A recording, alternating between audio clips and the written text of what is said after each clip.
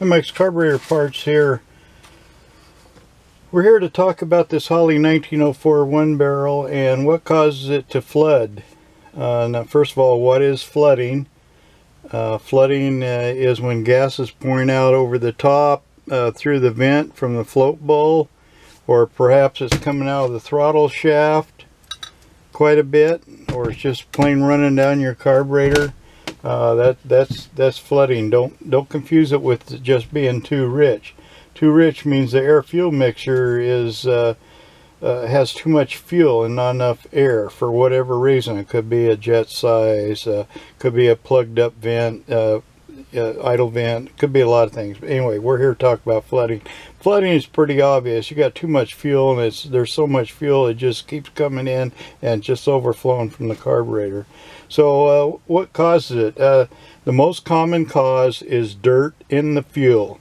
Uh, dirt in your carburetor. Dirt will get in the needle and seat. Dirt will, dirt will get in passages.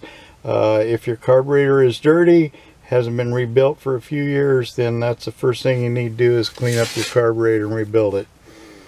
Okay, so um, that that's dirt. Um, the another thing that that give you trouble uh, if you have a car that's been sitting around for a long time, which is very typical with a classic car. Uh, if you have one been sitting for several months, then there's a good chance that the car the gas turned and varnished the inside of your carburetor. So some of these uh, uh passages are very small and so if you get any varnish at all, it's going to get plugged up. That will cause it to flood out. Uh, typically, though, that seems to cause more of a not enough gas because it can't get in there. But we're here to talk about flooding. Okay, so first thing we're going to check. Um, we, we've got by the dirt, the most common cause. We're going to look at the needle and seat. Uh, you want to be careful when you're adjusting the float on these things that you don't put any pressure on the needle. It doesn't take much to damage the Viton tip, which is a little rubber tip to uh, help help it seal. Uh, so you look at that, make sure there's no scoring or dimples on or anything. Uh, so here's the needle and seat here. This is the seat, and the needle sits right in here. Okay. Um, so the needle and seat's always suspect on these 1904s. It's pretty common for these to leak around the around the seat. So, like I say, if you're putting pressure on the needle while you're adjusting the float, uh, that could be a problem. Okay, so um, to test it, first of all, we turn it upside down. That way the float is resting on the needle and, and it supposedly is sealing. Blow in the inlet. Now I'm getting quite a bit of air. You'll you can get a little if you blow hard enough you'll get a little bit of air but basically you want to see if that needle is sealing. Okay. This one ain't too bad considering it's missing a washer. Alright, so that's the first thing you test for. You can use your uh, compressed air, but remember compressed air could have 150 pounds, so and you're looking at 4 pounds of pressure here. Alright, so that, that tests it. Now if you're leaking past it, then, then you already know what your problem is. But let's take a look at these. Now, like I say, these 1904s are uh, um, famous for the needle and seat to leak. And the reason is, is the way they seal onto the carburetor. Now these are pretty old now, 60 years old or so. And uh, these things will have several gaskets. Uh, there's one gasket right here which happens to be missing on this. I don't know what happened to it. I probably took it apart. Uh, you'll see the gasket would fit right there, right inside on that screw. Uh, this is the inlet screw. It also has a little gasket on there. Um, so you can treat these threads with a little bit of uh, thread locker, like blue, th blue or red thread locker. Just put a little dab in there though. You don't want it to get into your carburetor. Uh, whenever you rebuild one of these, put a little Permatex anaerobic around here on both sides of your gaskets wherever there is a gasket because the sealing problem is right here. Okay, these get pitted or whatever and, and it's probably going to leak. There's just a lot of stuff there uh, that can cause it to leak. So that's the first thing you check. You want to check your uh, float for leaks. Heat up a, a pan of water just prior to boiling and immerse the float. If you get any bubbles at all, out of the float, then uh, you need to get a new float. Uh, move the float up and down. Let's get this back on here. As I said, there's a gasket missing right here, so uh, if you're putting yours together by this video, be sure you put the gasket in there.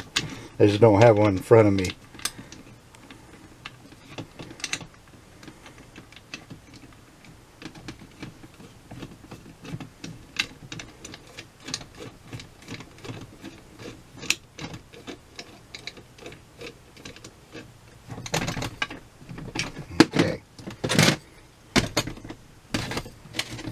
So the needle goes in there.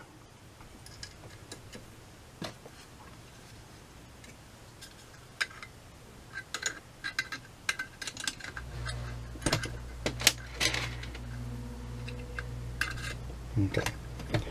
So is a float dropping, just drops down to there. That opens that opens it, let fuel in. Um, when you have it over upside down like that, that float should be level. If it's level, it's adjusted just fine. That's what you're looking for, a level float. Move the float up and down gently and see if you feel any catching. Uh, if so, maybe the needle, even look at your needle and make sure uh, um, it's not grooved or something because that, that could be a problem. Okay, so that's your uh, that's your needle, needle and seat. Um, so the other thing is to test your fuel pump pressure. And new fuel pumps are especially suspect. So uh, there should be about four pounds of pressure. What you're going to have to do is take the line off the inlet here. And you're going to have to get you a fuel pump tester. Now there's one uh, for all, carbureted fuel pumps uh, because they don't need to test but about four pounds or four to ten pounds, something like that. This one should be around four pounds. Um, there's also uh, fuel pump testers for fuel injection. They they're much higher pressure. Um, so you got to be careful what you buy. They're not very expensive, so but you want to check the pressure, and uh, especially if you had a new fuel pump because they just don't seem to. Uh, they seem to ignore the specifications for some reason. That's what we we're finding. All right, so any doubt, uh, get you a a pressure regulator and install it between the fuel pump and the carburetor. And then you can regulate it to what you want it to be. Okay? All right so uh, that's uh, pretty much covers the flooding part of it. And one thing I might mention if it's running out of the uh, throttle shaft uh, it, there's nothing necessarily wrong with the throttle shaft. It's just gas running down the bore and the first thing it hits is that uh, uh, throttle plate and runs out the shaft. That that's normal. The shafts can't seal uh, totally or the shaft wouldn't turn. Okay there's no seals down there at least on this carburetor. Uh, so there you go so there's a few ideas about flooding. Like say, it's just generally dirt or needle, needle in a seat. Um,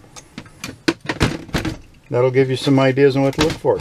Okay, uh, so you can buy parts for this at Mike's Carb dot carb carb Mike excuse me Mike's Carb.com. That's M I K E S C A R B.com. Thank you, and we appreciate your business.